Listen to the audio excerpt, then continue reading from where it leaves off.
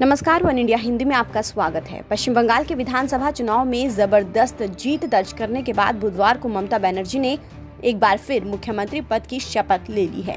राजभवन में हुए एक कार्यक्रम में ममता बनर्जी ने लगातार तीसरी बार मुख्यमंत्री पद की शपथ ली।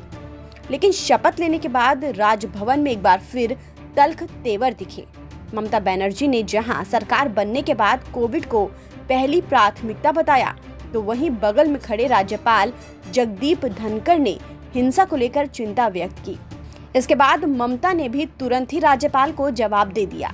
शपथ के बाद ममता बनर्जी ने कहा कि हमारी प्राथमिकता कोरोना संकट को काबू में लाना है।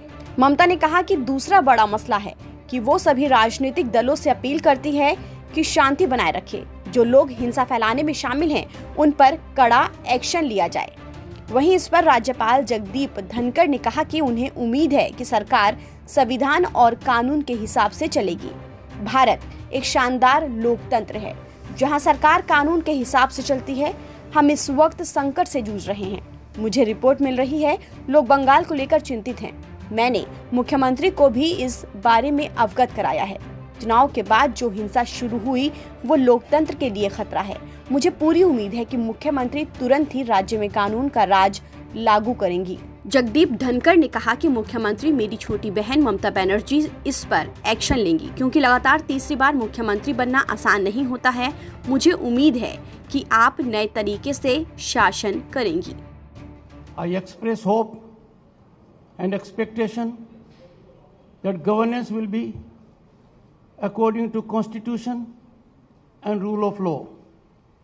India is a great democracy where power emanates from process of law.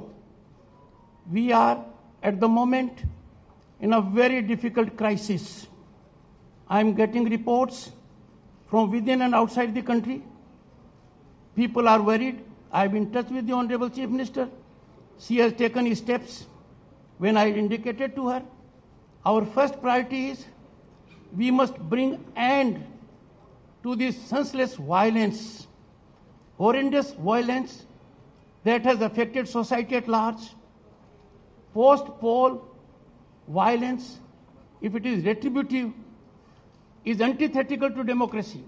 I have every hope that the Chief Minister, on urgent basis, will take all steps to restore rule of law and ensure that those who have been hurt particularly children and women, relief is accorded on a priority basis.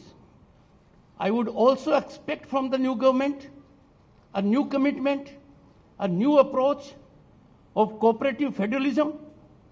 It's a country where we survive only by adherence to constitutional prescriptions. I have every hope the Chief Minister, my younger sister, would rise to the occasion. It is not usual for a person to get a third term in a row, and I'm sure she would do it. Mamata Banerjee ने राज्यपाल की नसीहतों का तुरंत ही जवाब दिया। ममता बनर्जी ने mic थामते ही कहा कि मैंने आज ही शपथ ली है। तीन महीने से राज्य की पूरी सरकार चुनाव आयोग के हाथ में है। चुनाव आयोग ने इस दौरान कई अफसरों का तबादला किया नियुक्ति भी की है। जिन्होंने कोई काम नहीं किया है। ऐसे में अब वो कमान संभाल रही हैं और लोगों से शांति बनाए रखने की अपील करती हैं।